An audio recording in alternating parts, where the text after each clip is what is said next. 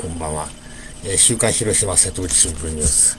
えー、2024年、えー、第2週深掘り、えー、1ということでですね、え、お話をしたいと思います。もう昨日ですね、えー、びっくり、ちょっとびっくりしたニュースありましたね。えー、広島市、えー、市長のね、松井さん、本当によくわからんことをしてますね。まあ、あの、旧広島藩士のね、浅野文庫ね、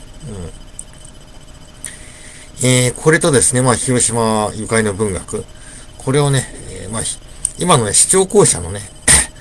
えー、解体してその跡地に、えーえー、建設するということです。まあ、市長公社っていうのは、あの、祝福園の隣にあるね、うんですけどもね。まあ、老朽化してね、それから全国の政令市でもね、市長公社っていうのはね、うん、もう廃止の方向というのは、これね、まあ、わかるんですけれどもね。じゃあ問題は何をね、えー、作るかというところですよね。今ね、あの、浅野文庫はね、中央図書館の中にあります。まあ、被爆、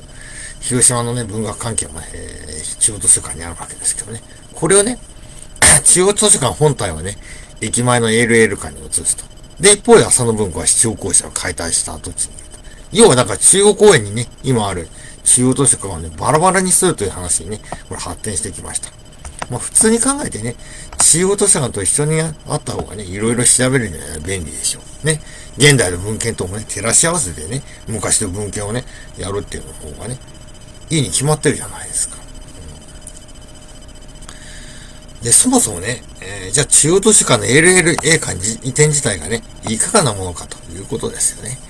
AL 館自体もね、えー、四半世紀が経過して、今後の建て替えも考えたらね、60年持ちね、現在地建て替えと比べてもね、コストが安いとは決して言えません。一体全体に、えー、松井市長は何を考えておられるのかと。で、そして広島市議会もね、チェック機能はね、以前前よりも低下してます。まあ皮肉ですけどね、河合事件で、保守系だけど市長に批判的な議員っていう方がね、多くに失脚したことにもね、ある、よるっていうことですよね。ある意味ね、えー、東京地検がね、あの、特捜部がね、松井さんをね、市長をね、援護射撃しているような話ですよ。しかしね、とにかくね、市民の意見を聞かずにね、物事をね、えー、進めてしまうね、松井市長の暴走もね、止めなければならない2024年になりそうです。まあ、広島庶民革命とはね、メインにはね、やはり、えー、暴走するね、湯崎秀彦知事をね、打倒し、そしてね、えー、湯崎さんやね、あるいは教育長の平川さんたちからね、えー、広島をね、庶民の手に、あなたの手に取り戻すと。ね、えー、そういう、そういう革命です。しかしながらですね、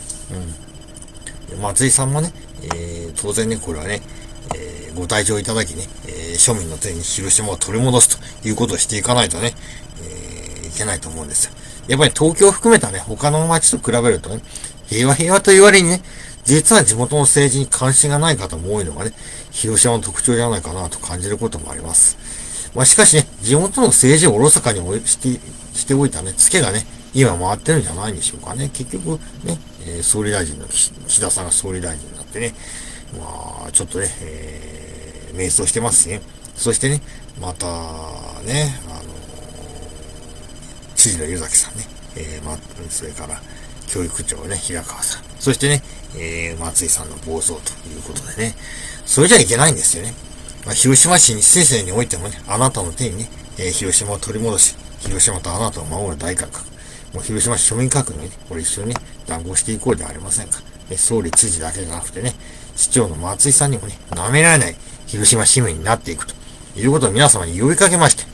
えー、週刊広島瀬戸内新聞ニュース、えー、2024第2週深掘りと、えー、丸一ということでね、お話をさせていただきました。えー、最後までご清聴ありがとうございました。失礼いたします。